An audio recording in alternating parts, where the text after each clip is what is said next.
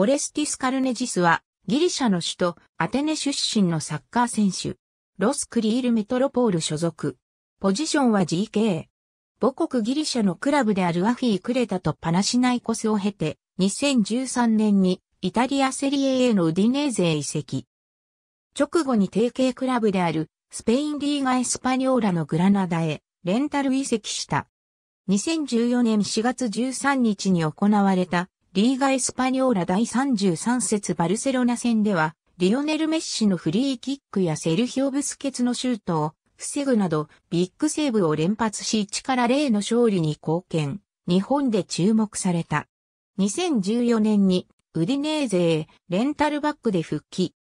ウディネーゼの正GK には前シーズンに大きな飛躍を遂げた超逸材のシモーネ・スクフェットが君臨しており、カルネジスは第2 GK と考えられていたが、結果的に正 GK の座を奪いリーグ戦37試合に出場した。2018年7月5日、SSC ナポリに移籍した。2020年9月4日、ロスクリールメトロポールへ移籍することが発表された。パナシナイコス在籍時の2012年2月29日に行われたベルギー戦で A 代表デビューを果たした。ありがとうございます。